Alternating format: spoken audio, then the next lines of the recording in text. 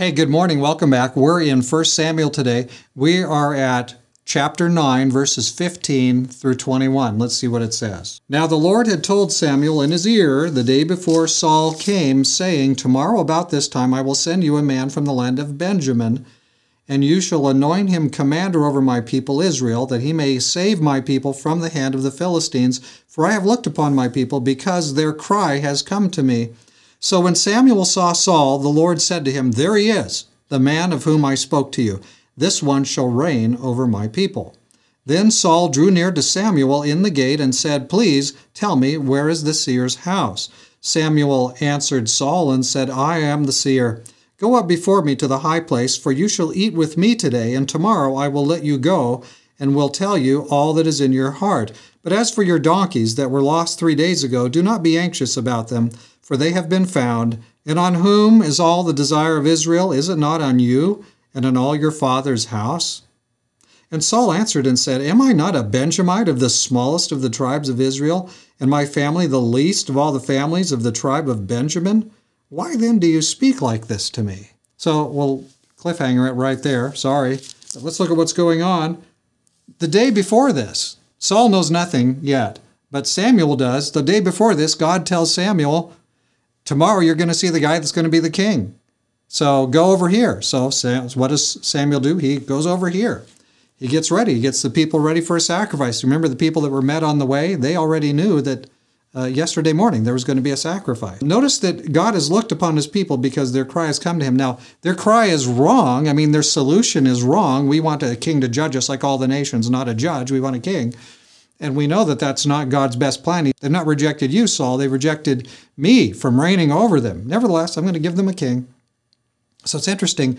God hears the cry of his people, but sometimes sometimes the cry of his people, sometimes our prayer, our desire is is is is crooked. It's, it's wrong. It's not what's really best. And yet God will work with us. We'll get an education. We're always getting that education, aren't we? So he's going to provide a king. And here's Saul. So far, Saul's looking okay. Saul seems to have this inkling after he talks, because there's sort of a hint going on here. And Saul seems to have an inkling of something big is going on. And Saul says, Who? What about me? Hey, I'm, I'm from the smallest tribe.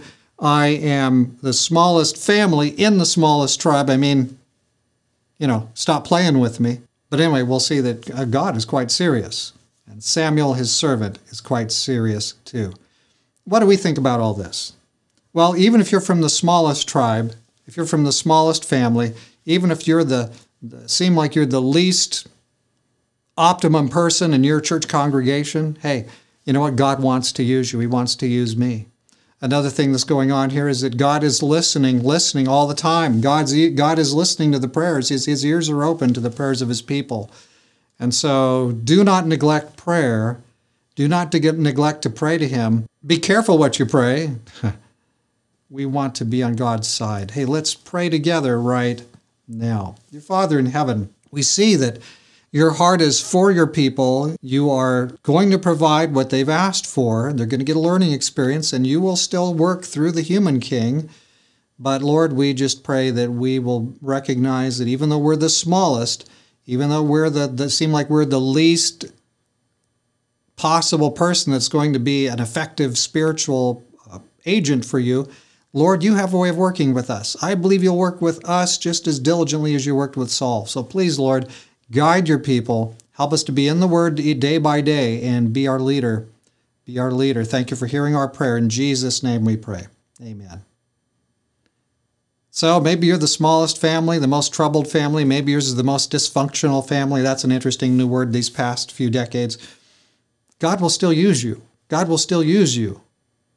Do not sell short, not yourself, but the God of heaven. He's looking for people to be on his team. God be with you today in all that you do.